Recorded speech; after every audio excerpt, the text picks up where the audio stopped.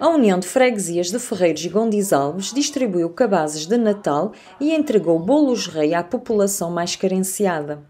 Carolina Teixeira, presidente da autarquia local, enalteceu a ajuda das empresas desta União de Freguesias, bem como os estabelecimentos comerciais e particulares que se associaram a esta causa solidária. Nós temos um protocolo com, eh, com várias instituições onde nós uh, sabemos quantas pessoas carenciadas há na freguesia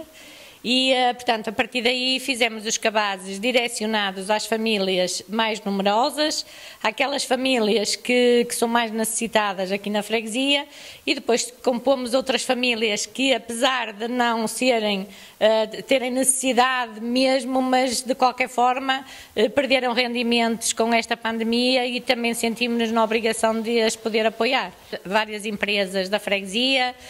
várias superfícies comerciais que também nos ajudam ajudaram, onde nos deram uh, bastantes cabazes para que nós conseguíssemos uh, compor os nossos. Quando as pessoas aderem e, e, e veem que nós que, que, oferecemos, portanto fazem questão de virem mesmo hoje, dia de Natal, buscar o seu bolo rei para compor a mesa de Natal e isso deixa-nos, isso é gratificante e deixa-nos imensamente felizes podermos ajudar e fazer com que o Natal das pessoas seja mais alegre e ter a mesa mais composta e principalmente às crianças. O Dinamo Futebol Clube foram incansáveis eh, na pessoa do seu presidente, Bruno, eh, que realmente foi uma ajuda imensa para que essas mesas conseguissem estar bem compostas neste Natal. Desejo-lhes um Santo Natal, umas festas muito felizes, um ano novo cheio de sucesso, de muita saúde, para que para o ano eh, todos nós estejamos aqui para dar continuidade a esta, esta iniciativa que para nós deixa-nos o coração cheio.